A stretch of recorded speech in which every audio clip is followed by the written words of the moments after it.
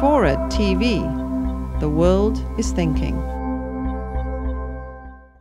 I, I taught at a school, a university that had sinking numbers of male students and rising numbers of female students.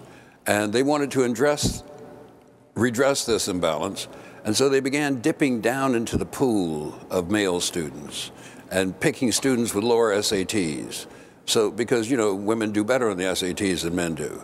And they kept, went down and down, and now they have equal numbers. And I don't know if these men are going around the campus with their heads held low because everybody said, oh, oh, that's Charlie, look at him, you know. Uh, in fact, I don't think they know, I don't think they care. Uh, so I don't think it's the phenomenon that we hear described over and over again because all this is anecdotal evidence and nothing but anecdotal evidence. Professor Conley? Yeah, I, I, I think it's funny that Lee keeps coming back to uh, other illegitimate modes of admission to justify um, race. I mean, I'm I, the proudest thing I, the thing I'm most proud about NYU is that we don't have a football team, so we don't have to deal with, uh, you know, uh, the, passing the, the answers to the football players who got in because we want to win the Pac-10 or whatever.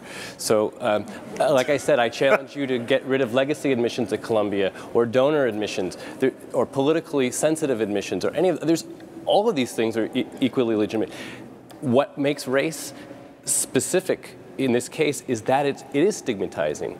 Um, and, and it's stigmatizing not just because whites are racist, but because it's such a based on group identity.